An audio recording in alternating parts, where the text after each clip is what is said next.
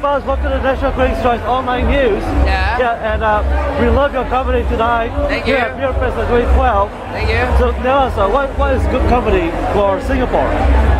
Good comedy for Singapore is um, things that make- can make you laugh, you know, like um, everyday experiences, bus rides, train rides, experiences with foreigners, anything, you know, cultural differences, whatever you have that can make that can make you laugh. I think it's it's important that we can laugh at ourselves, you know, we can laugh at ourselves. That's good comedy. And, what makes you start to be a comedian?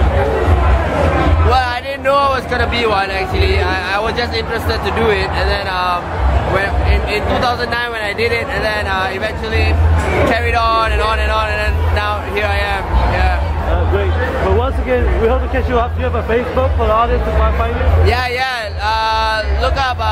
Look up Fakkah Fuzz page on Facebook. F A K K A H F U Z Z. That's F A K K A H F U Z Z on fan pages. Just like me on on, on, on Facebook, and follow me on Twitter too at Fakkah Fuzz. So, yeah.